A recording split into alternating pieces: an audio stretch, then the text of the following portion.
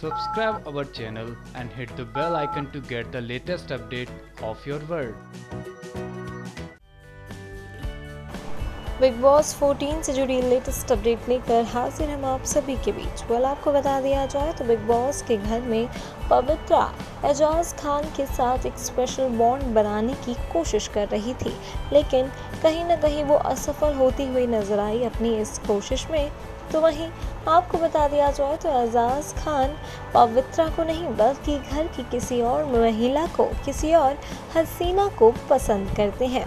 Well बीते एक episode में देखने को मिला था कि एजाज खान गौहर को देखते हुए कहते हैं कि शी इज़ सो हॉट जिसके बाद वो काफ़ी देर तक गौहर को स्टेयर करते रहते हैं, यानी कि घूरते रहते हैं और जब गौहर खान उनके सामने बैठती हैं तो वो उनसे बातचीत करते हुए भी नज़र आते हैं, जहाँ पर वो उन्हें ये कहते हैं कि वो इमोशनल होने की वजह से अपसेट तो नहीं है। जी हाँ उस टाइम एक टास्क चल रहा था, जिसकी वजह से गौहर कहीं ना कहीं अपसेट हो रही थी घर वालों की लड़ाई को देखकर। जिसके बाद गौहर ने भी साफ़ कह दिया था कि वो इन जैसों को अपसेट कर देगी। वेल well, अब देखना दिलचस्प होने वाला है कि क्या एजाज खान अपने इस दिल की बात गौहर खान तक पहुंचाते हैं या नहीं।